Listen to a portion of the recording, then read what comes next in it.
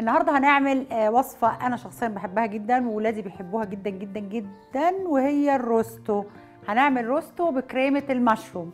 الوصفة دي آه، طبعا يعني من الوصفات العريقة اللذيذة وأنا لأني بحب المشروم جدا فهحط معاها مشروم وهعمل الصوص مكثفة بنكهة المشروم. هنعمل إيه علشان أو هنعوز إيه علشان نعمل الوصفة دي؟ عايزين روستو عرق روستو الصراحة آه، لو كبير اقسموه اتنين. أنا ده كان كبير جدا قسمته اتنين وهنعمل ده النهارده. وعندنا آه، بصل. ممكن تقطعوه أكبر شوية مش مشكلة هو كله بيدوب في الآخر.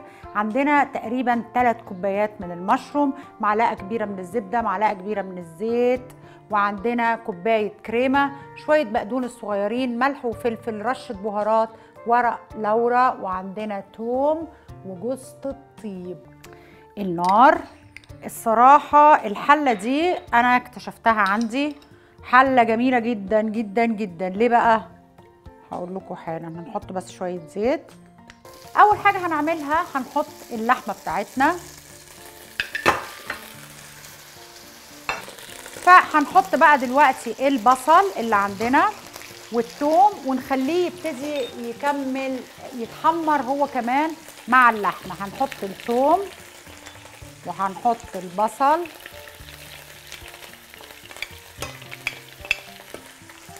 ونخليهم كده على جنب على جنب كده يتحمروا في ناحية واللحمة بتتحمر في الناحية التانية.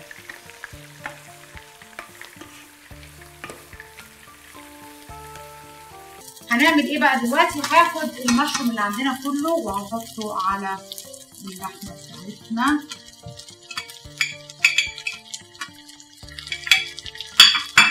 هنبتدي بقى نحط التوابل اللي عندنا. عندنا ملح شاء الله يا رب عندنا ملح. طيب عندنا فلفل أهو. هنحط جوز الطيب. دايما جوز الطيب خلوها فريش طازة طازة طازة.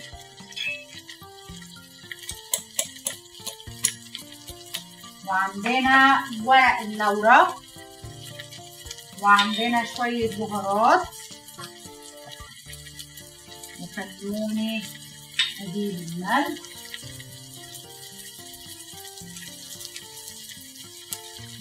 شوية ملح.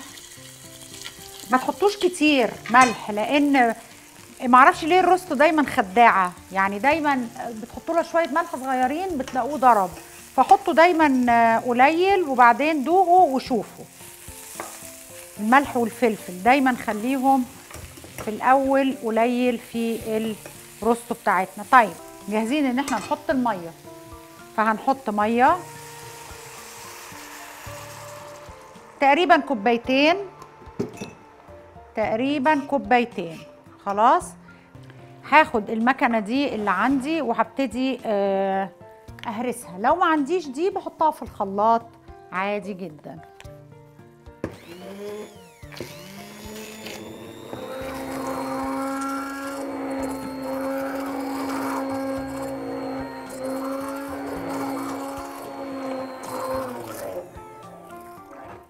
خلاص كفاية كده. أنا مش مش لازم إن إحنا نخليها تتهرس على الآخر. هناخد بقى دلوقتي الكريمة اللي عندنا اهي وهنحطها. يعني بحط نص كوباية كده وبشوف. ممكن بس ما عوزش غير نص كوباية. خليها كده. هاخدها احطها هنا بس ممكن نقطع لها كمان قطعه كده.